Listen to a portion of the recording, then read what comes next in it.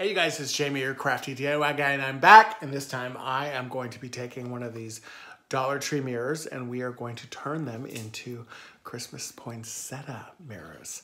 So stay tuned. now, what we're gonna do is we're gonna take three of these petals and get them painted green. Now, I'm not really going to prime this. I'm gonna actually just keep it um, we'll probably do a couple coats of it, but I actually like the way that kind of bronzy green is showing through there. Um, and then we're gonna do three on this side, three on this side, three on this side, and then three on this side. And then we're gonna go back and fill in the others with red. Okay, check it out. The poinsettia mirrors are almost done. We did paint that center ring gold. And then we've got the couple coats of the red and the green.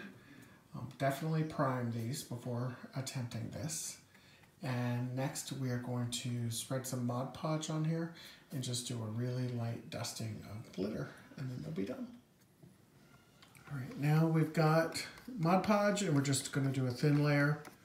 My sister's acting as my extra set of hands and holding this for me. And after I've gone back through, and then I'm gonna take another brush and just kind of spread some of this out.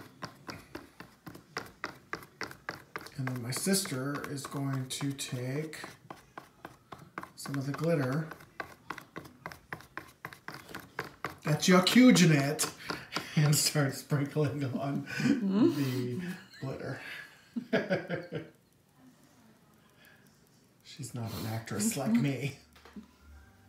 All right, guys, check them out. They are done.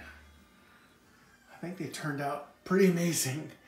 Um, the biggest thing I would say if you're going to make these is make sure you prime these little suckers because we put probably four coats of paint on these before and uh, we were just using acrylic paint but we didn't have anything to prime them with so next time we'll definitely prime them but these are my poinsettia Dollar Tree mirrors. Thanks, guys.